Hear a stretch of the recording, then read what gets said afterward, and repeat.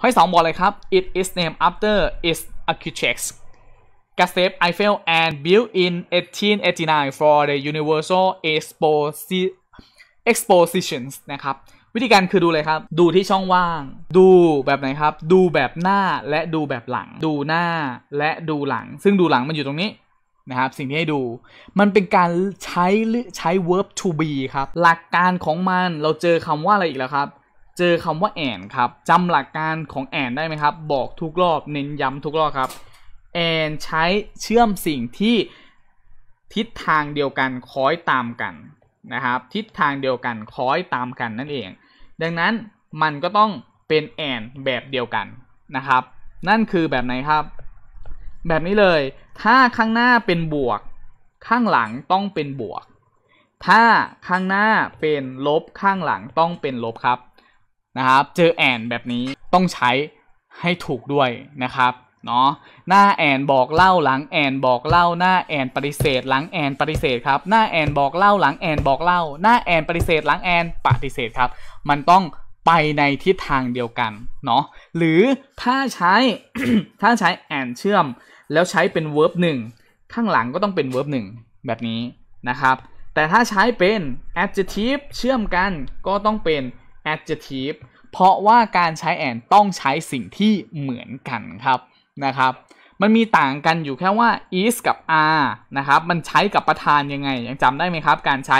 verb to be 7 ตัวจำได้ไหม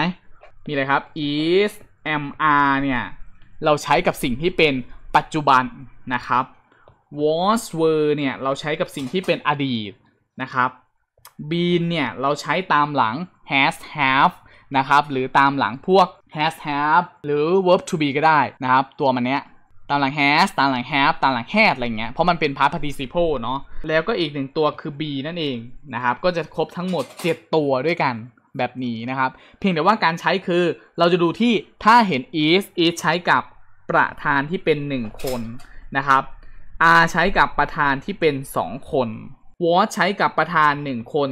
นะครับ were ใช้กับประธาน 2 คน แต่ต่างกันที่ is กับ are ต้องเป็น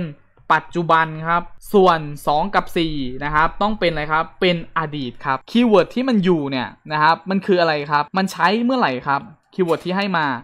built in 1889 ครับ แปลว่ามันสร้าง สร้างเมื่อไหร่ครับ สร้างเมื่อปี 1889 ดังนั้นมันยังจะเป็นอดีตหรือปัจจุบันตรงเนี้ยตรงนี้ต้องเป็นอดีตแล้วครับเนาะเพราะปี 1889 มันเป็นอดีต ดังนั้นเราสามารถตัด 1 กับตัด 3 ทิ้งได้เลย ตัด 1 กับตัด 3 ทิ้งเลย เพราะ 1 กับ 3 บ่งบอกความเป็นปัจจุบันครับ ทีนี้สิ่งที่ต้องหาคือเห็นแอนใช่ไหมครับ ตัวเนี้ยมันเป็นการใช้ verb ฉะนั้นต้องดูที่ประธานนะครับว่าประธานเนี่ยคืออะไร ประธานก็คือตัวที่มันใช้นะครับ มันถูกเรียกชื่อของมันเนี่ยว่า Gustave Eiffel นะครับ ตัวนี้ซึ่งมันพูดถึง it แบบนี้มันมีกี่อันล่ะนะครับ it หรือ Gustave Eiffel มีกี่อันก็มีเพียงแค่ 1 เท่านั้นครับนะครับมีแค่ 1 เท่านั้น วิธีการจะดูประธานว่ามันมี 1 หรือมี 2 เนี่ย มันดูได้จากอะไร มันดูได้จากการเติม s หรือ es นั่นเอง อย่างเช่นอะ dog อย่างเงี้ยนะครับ เรารู้เลยว่า dog ตัวนี้มีแค่ 1 ตัว นะครับแต่ถ้า dogs มีการเติม s เมื่อไหร่เนี่ยรู้เลยว่ามันมีตั้งแต่ 2 ตัวขึ้นไป ซึ่งบางทีคำนามนั้นอะเราคำนามนั้นหรือประธานตัวนั้น เราอาจจะอ่านไม่ออกหรือแปลไม่ได้หรอก แต่เรารู้ทันทีว่าถ้ามันเติม s เมื่อไหร่ที่คำนาม มันหมายถึงสิ่งที่มี 2 เพิ่มขึ้น ดังนั้นข้อนี้ it กับการ step Eiffel เนี่ยมีแค่ 1 ต้องใช้ข้อ 2 นั่นเองตัด 4 ทิ้งเลยนะครับ ตอบข้อที่ 2 ครับ แบบนี้นะ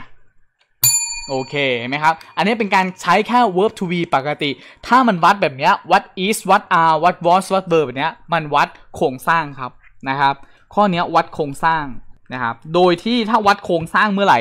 ไม่ต้องแปลนะครับ ไม่ต้องแปลอะไรเลย หาดูวิธีการนะครับว่ามันควรใช้แบบไหน นะครับแบบนี้ข้อ 2 เก็บไปแล้ว 2 คะแนนนะฮะเออเก็บไปแล้ว 20 คะแนน 20%ด้วยกันสำหรับคอร์สออนไลน์ครูผู้ช่วย 64 ทุกสังกัดนะครับเราติวทั้งหมดเลยนะครับน้องๆหลายคนกังวลว่ากลัวจะไม่ได้กฎหมายอบทอันนี้มีนะครับกฎหมายอบทเดี๋ยวรอประกาศทางการนะครับไอตัวกฎหมายทุกวิชาเนี่ยเดี๋ยวผมจะเป็นคนรวบรวมแล้วก็ up ไฟล์โหลดให้เพิ่มเติมนะครับแต่ว่าในส่วนของหนังสือที่น้องๆได้ไปจะเป็นหนังสือในส่วนของ ของสพทกฎหมายของการสอบแต่ละส่วนเนี่ยมันสอบอะไรบ้างคอร์สนี้เป็นคอร์สสดนะครับติวกันเต็มที่เลยนะครับวิทยากร 7 ท่านด้วยกันสู้ๆนะครับ เป็นกำลังใจให้ทุกคนสนามต่อไปต้องมีชื่อเราและเราต้องได้บรรจุครับ เจอกันได้ในคอร์สนะครับ